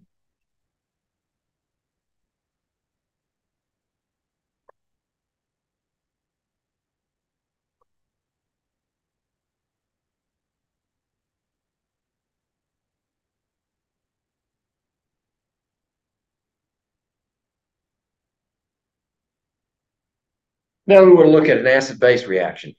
Now we haven't talked about acid bases um, in detail, and we actually don't get to those until uh, I think next semester. Yeah. Okay, so now when I mentioned Bronsted-Lowry, that's a certain type of of uh, acid base, and uh, we'll get more detail next semester. But for now, acids are proton donors. So when we write an acid like this, it's an acid because it can donate that proton. And this is a base because that negative can accept this positive, right? Those two together will produce water. So this is a proton acceptor. This is a proton donor, acid base. All right. Now, uh, if we use what we've learned so far about um, formula equations, complete ionic equations, and net ionic equations, we could write it this way, right? HCl plus sodium hydroxide aqueous yields uh, water, liquid plus sodium chloride aqueous, right? In solution, this ion is separated from that ion, and this ion is separate from this ion. They produce water, and that is not broken apart. And they also produce sodium ions and chloride ions as products. Okay, that's the net. This is the formula equation. This is the net ionic equation. Uh, excuse me. This is the complete ionic equation. And this is the net ionic equation. This is a spectator. These two are spectators. So what do you have left? You have left over this one, protons plus hydroxyl ions. And they produce water. That's what drives this reaction, the production of water. That's the net ionic equation for a strong base and a strong acid reaction. Okay. And what we mean by that is strong acids completely dissociate in aqueous solution. Strong bases completely dissociate in solution, in aqueous solution. Oh, we got another video. Hydrochloric acid contains hydrogen ions and chloride ions in aqueous solution.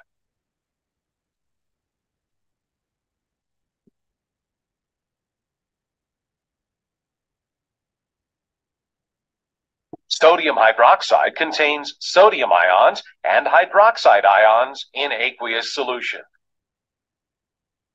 When these two solutions combine, a neutralization reaction takes place. In this reaction, hydrogen ions from the acid and hydroxide ions from the base combine to form water molecules. The sodium and chloride ions are unaffected and remain to form a neutral sodium chloride solution. Neutralization can be summed up by this simple ionic equation.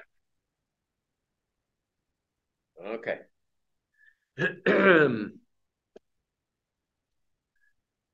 so, um, for stoichiometry of acid-base reactions, they're really very simple. You got to identify what's the acid, what's the base, and they always form water.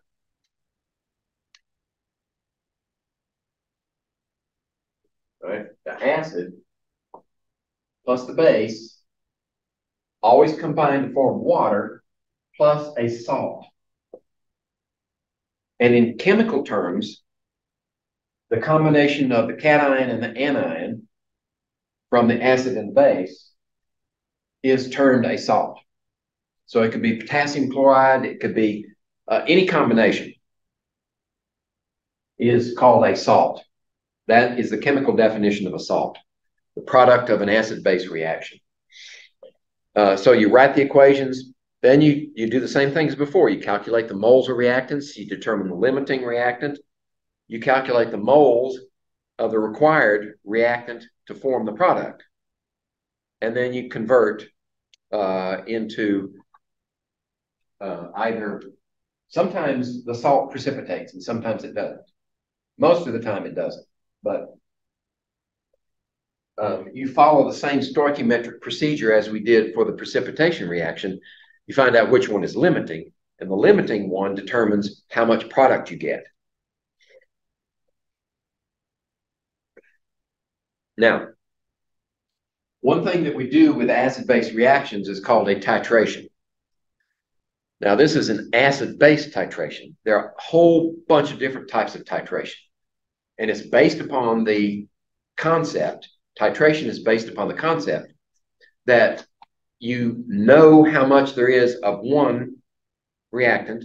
You want to find out how much there is of the other reactant based upon their reaction equation. And by doing that, you can um, you can determine the concentration of your unknown solution. What you need to reach is called an equivalence point. The equivalence point is where the uh, moles of one reactant equals the moles of the other reactant in terms of protons and hydroxyls. Okay, that's important because if this acid is, say, sulfuric acid, it produces two hydrogens. So the stoichiometry, the, the ratio is going to be different because this one produces two. Now you're going to need twice as much sodium hydroxide. So you need to know the balanced equation to determine um, the stoichiometry of the reaction. That would be the equivalence point. Now, as a practical matter, we uh, when we have uh, hundreds of these titrations to do, uh, it's difficult to find the equivalence point easily using um, laboratory equipment. But if you have an indicator, a a material that you can add to the solution, and when you reach or get very close to the equivalence point, the in the indicator changes colors and you can see it. Uh, you usually, if you choose them correctly, you can get very close to the equivalence point, so close that the calculation uh, is in error by less than the tenth of a percent. So that's the equivalence point is the actual chemistry when they're when the moles are equal. The end point is the is the uh, point at which the indicator tells you you've reached very close to the equivalence point.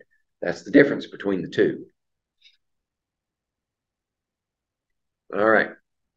So for a titration of sulfuric acid with sodium hydroxide, how convenient. Let's say we've got this one. I'll just put it down here. H2SO4. Now what we need to do is um, balance the equation. If you've got two hydrogens here and only one hydroxyl, we need two hydroxyls to make two waters. And then we're going to have two sodiums here and not chloride. now we're going to have sulfate and two sodiums because sulfate is a two minus charge, okay? And this is uh, still in aqueous solution. All right. That's a balanced equation. Uh, hold on a second. We don't need two here. My mistake. Only one. We need two sodiums there, two here, one sulfate, one sulfate. Um, four hydrogens. Two times that one is four hydrogens. That's two plus two is four, and two oxygens here. Okay. So I just check myself, be sure it's balanced now. Now the question is, for a titration of sulfuric acid with sodium hydroxide, how many moles of sodium hydroxide would be required to react with one liter of 0.5 molar sulfuric acid? Okay, so we can remove this. And we have one liter of what? 0.5 molar sulfuric acid.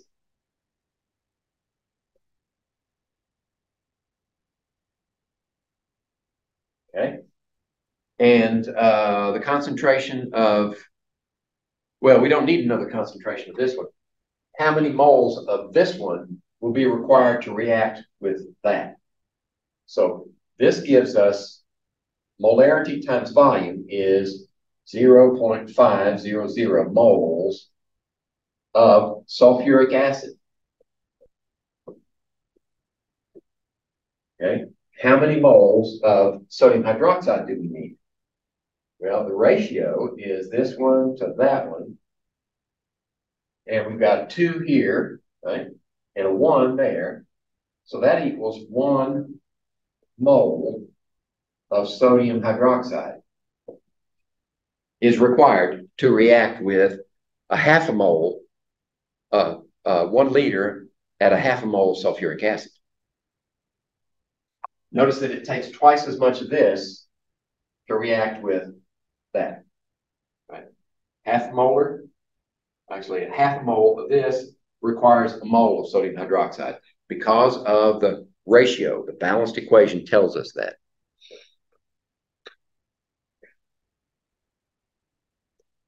All right. Redox reactions. Redox reactions are reactions in which one or more electrons are transferred during the reaction. All right, so let's get off of this wagon and get on to the redox rea reactions. That's oxidation reduction, in which we transfer electrons. Um,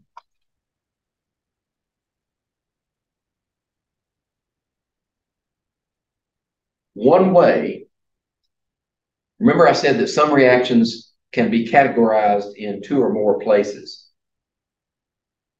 This is one of those cases. Combustion reactions are always redox. And reactions where um, reactions where an element on one side ends up in a compound on the other side. So this element reacts with something and it ends up in a compound over here. Um, good example of that is the single replacement reactions. Where you have uh, an element here plus um, a compound here, and on this side, you wind up with an XZ and then an element there. In order for that to happen, electrons must be transferred.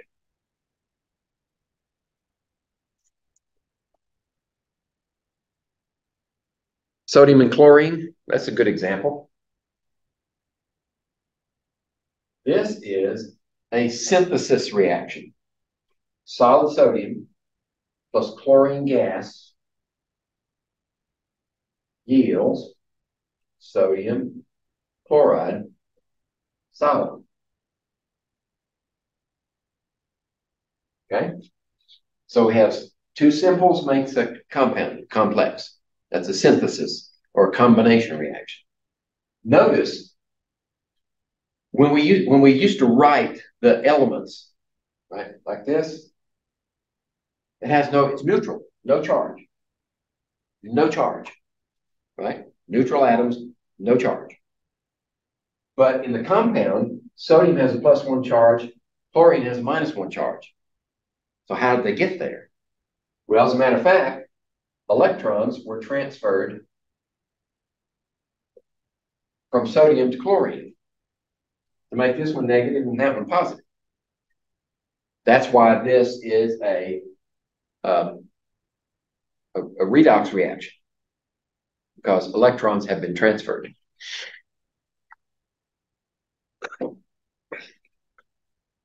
Now, how do we deal with, how do we find out uh, more complex reactions are either redox or not?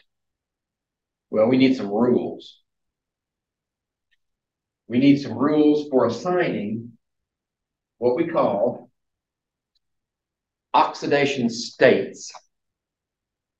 Now, sometimes the oxidation state is a true ionic expression, like sodium and chlorine. Those are true ions. Sodium is a plus one charge, chlorine is a minus one charge. But we can do this with molecular compounds where there is no ion, right? H2O would be an example. It's a molecular covalent compound, and there are no ions in the compound. But we assign values of oxidation states to them so that we can keep track of the movement of electrons. This is called, I call it a bookkeeping scheme. Right? You're, you've got balance sheets for the movement of electrons. And in order to do that, now we need rules. Okay. The first rule is oxidation state of an element is always zero. So if we write it like this, say sodium metal, its oxidation state is zero. Or if we write chlorine, gas, right, that's a diatomic, then its oxidation state is zero. If we have ions, the oxidation state of that is plus one. The oxidation state of that one is minus one. Those are the easy ones. When we have oxygen in a covalent compound like water, it's always a minus two. The only time oxygen is not a minus two in a covalent compound is when it's part of a peroxide. So the best example of a peroxide is on your medicine in your medicine cabinet at home. Hydrogen peroxide. This is hydrogen peroxide. And it's written like this. Okay, that's the structure. Notice that these two together are two minus. So each one has to be a one minus. Okay, that's the only time that we're concerned with where oxygen is not a minus two. It's when it's part of a peroxide. In covalent compounds, also, hydrogen is a plus one, right? And the oxidation states behave as if they were charges. So in a neutral compound like this, the oxidation states have to add up to zero. So two times that is two plus, and one times that is two minus, that's zero. Right? So neutral compounds, the oxidation states must add up to zero. Um, that's hydrogen in covalent compounds. When hydrogen is the first element in the compound. Okay. Um, fluorine. Fluorine is a halogen, and we always assign fluorine a minus one oxidation state when it's in a compound. When it's not in a compound, when it's like an element, right?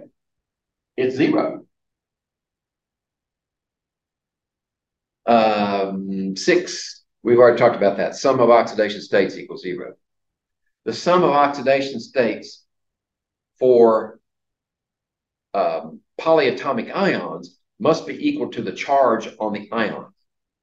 Right? So uh, let's take this one, OH minus. That's a polyatomic hydroxyl ion. Oxygen's going to be minus two, hydrogen's going to be plus one. These two together equals a minus one. All right. Those are the rules. Now let's see if we can calculate. The reason we need these rules is so that we can, we have an anchor point. Those that have fixed values, then we can, we can work through and calculate the values of oxidation states for the other elements in any compound.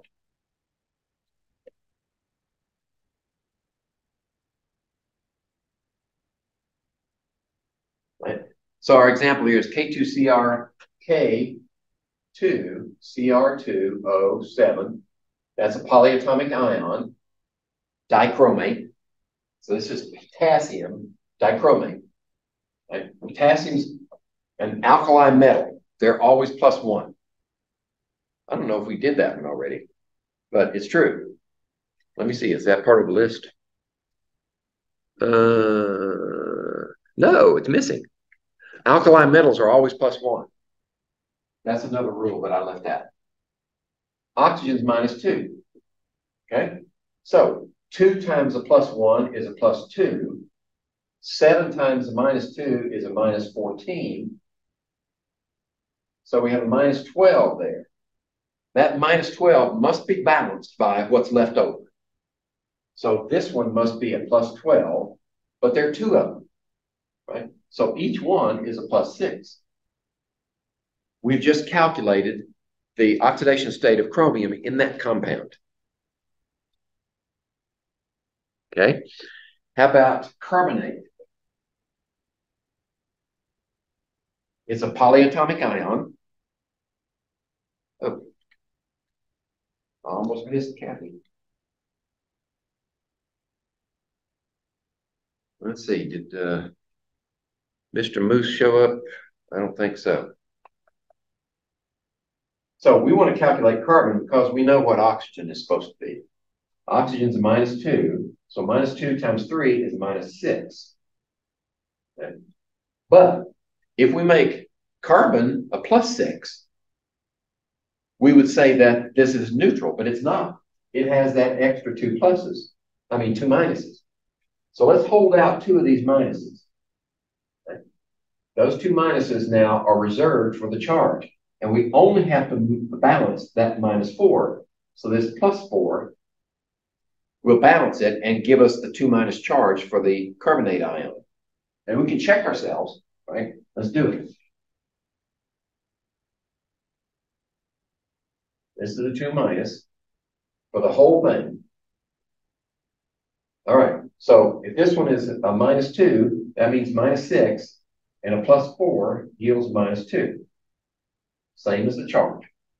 Okay? Let's see. In the interest of time, um, manganese 4 oxide is that. PCl5. Okay, here's one. PCl5. We don't have a rule for either phosphorus or chlorine. So what we have to do is decide which one are we going to go with. And when you've got um, a nonmetal attached to a halogen, we generally go with the halogen as fixed at minus one. So that's minus five. That means this one has to be a plus five for phosphorus.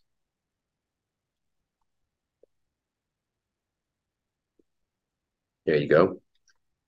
Now, um, sulfur tetrafluoride we have a rule for that one. It's minus one for this fluorine, so minus four total. That's a plus four for the sulfur to give us a neutral compound.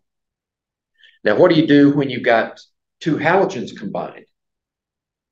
Right, say you have, um, oh, like that compound. Well, in that case, we go with the one that has a rule, fluoride or fluorine. This is a minus one. So that's a minus one. And this has to be a plus one. Well, that's a bad example. I'm going to come out with a fraction. Uh, let's try it again. How about we do it like this? Um, how about three? So minus one here, minus three there. That means this chlorine is plus three. Okay?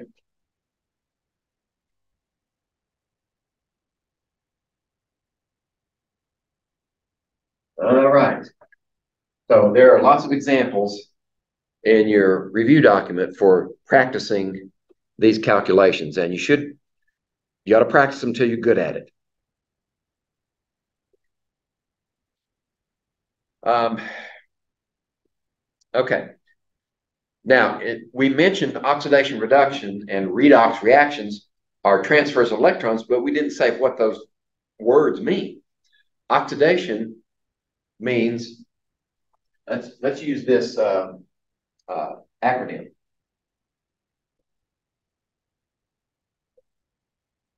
Oil rig. Oxidation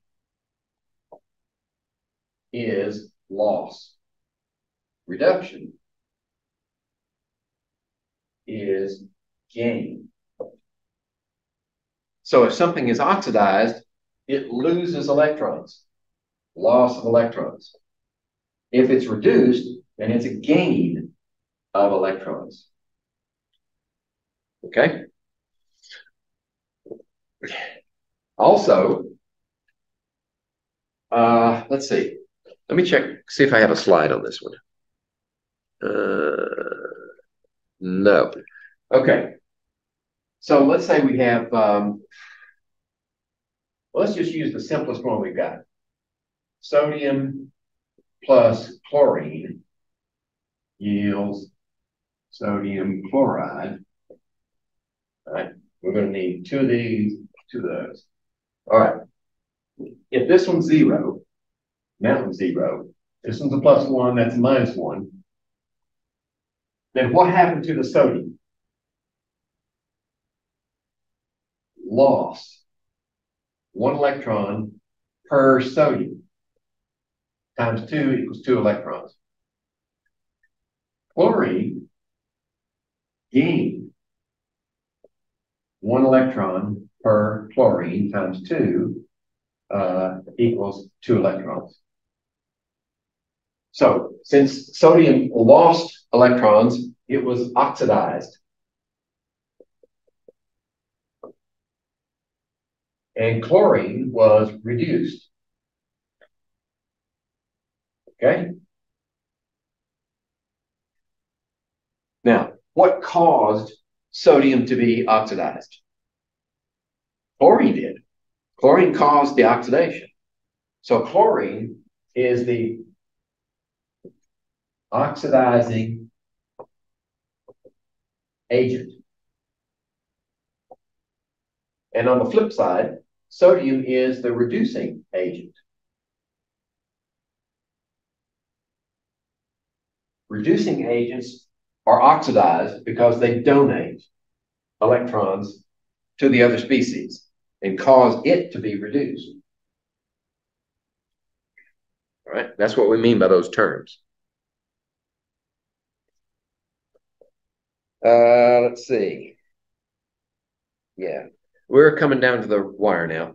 Which of the following are oxidation reduction reactions? Identify the oxidizing agent and the reducing agent. All right, need some space.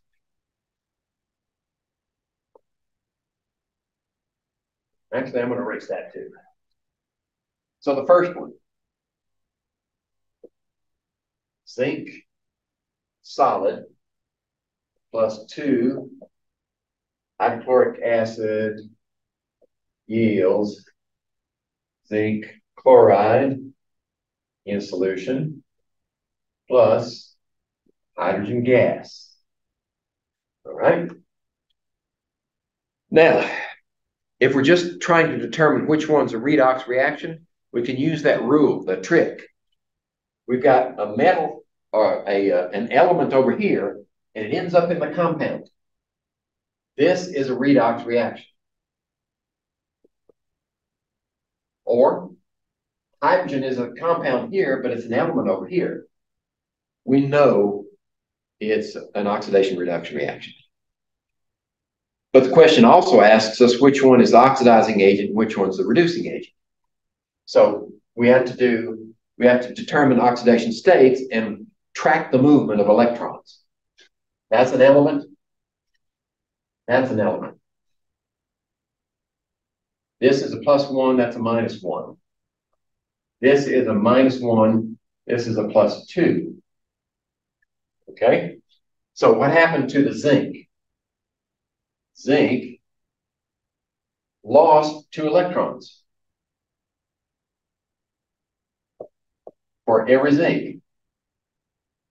Uh, times one equals two electrons total. Which one of these? Well, chlorine didn't change. Chlorine is still a minus one. Hydrogen changed. Right? So hydrogen gained one electron per hydrogen times two equals two electrons. Notice that the oxidation step and the reduction step must balance the same amount of electrons. You can't have any excess electrons because in, in normal chemistry, we don't allow for electrostatic charge to build up. Okay. Um, so the question is, which one is the oxidizing agent? Which one's the reducing agent? The oxidizing agent is the one that's reduced. This one. This is the oxidizing agent. And this is the reducing agent because it was oxidized. Okay? Let's see if we're animated. Okay, that's an oxidizing. Okay. Um, the middle one, dichromate, and we're only using the ions here. We've left out the uh, spectators.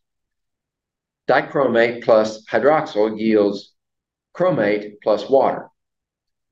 And if we go in there and, and do our budgeting, we'll find that there was no transfer of electrons. So B is not a redox reaction. But C is. Right? We know C is because copper is in the compound on the reactant side, and some of the copper is in uh, elemental form on the product side. We know electrons had to be transferred. Okay, so we've got two CuCls, aqueous, yields CuCl2 in aqueous solution, plus copper metal. Notice that these coppers came from the same source. Right? So one of these coppers went from minus one plus one to minus one plus two. It went from plus one plus two, it was oxidized. Or I should say, loss one electron per copper. And the other, notice there are two here, two coppers. The other copper went to here. This is zero. So it went from a plus plus one to a zero. It gained, it gained one electron per copper. So the oxidizing agent is the same as the reducing agent. One of these is the oxidizing agent, the other one is the reducing agent to produce that product and that product. This is called a disproportionation reaction.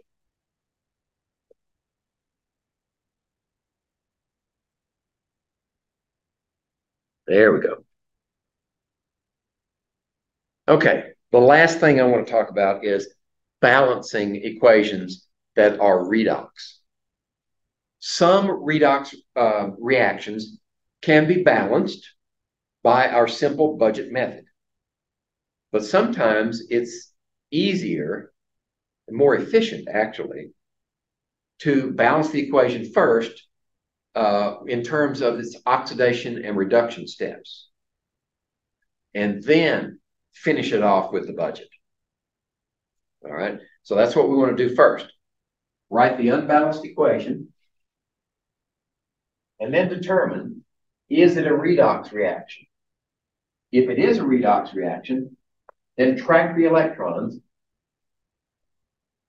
and make the electrons balance right, with coefficients. Let's see if we have an example here uh, solid zinc and aqueous hydrochloric, hydrochloric acid. Solid zinc and aqueous, obviously, that's redundant, hydrochloric acid yields what? It's a sim, uh, single replacement reaction. So zinc chloride, two of those in aqueous solution plus hydrogen gas. Okay. Uh, and it, the reason I know this is too is because the name of the compound is zinc 2 chloride. Right? I know the charge here is 2 plus and 1 minus, so that balances it. Okay, so we write the equation first. Um, I think what, uh, okay, we're going to write the complete ionic equation. So let's take it over here. Right? Let's take this one. 2 plus aqueous and chloride aqueous. There we go. Now we want to balance that uh, using a redox method. So what we have to do is determine the oxidation states. That's an element. That's an element. Those are charges. This one is a minus one. This is a plus one. Okay. So what's what? Well, zinc is changing its oxidation state. Okay. Loss two electrons per zinc. Okay.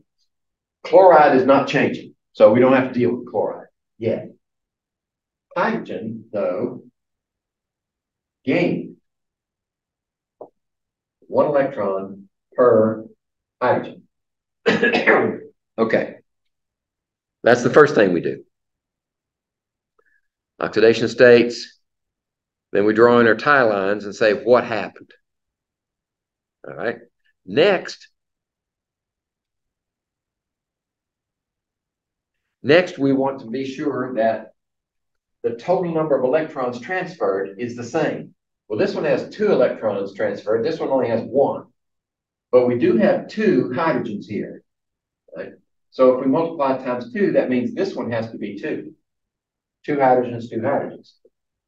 Uh, equals, equals two electrons. There we go. So now we have total number of electrons is balanced.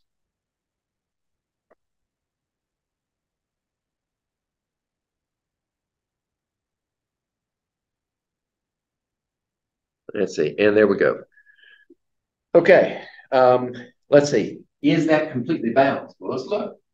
One zinc, one zinc. Two hydrogens, two hydrogens. Two chlorines. Nope, we need two chlorines. There we go. Now it's balanced. And I think that's the next animated. There we go. So this was a very, very simple example of balancing using redox.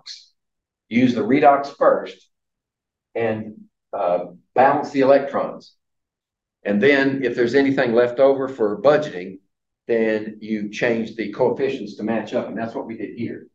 We did that change to make the electrons balance. We did this change to make the budget work. Okay, that's it. And we're only an hour over.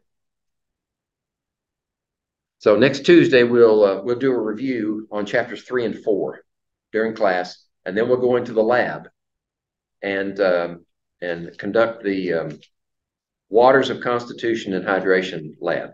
So we're going to be working with um, hot stuff, a Bunsen burner, right? So you have to be careful with that. Be sure and and come prepared with your lab coat, closed-toed shoes, covered legs, and uh, I'll supply the gloves and if you need uh, eye protection. That's it, and away we go.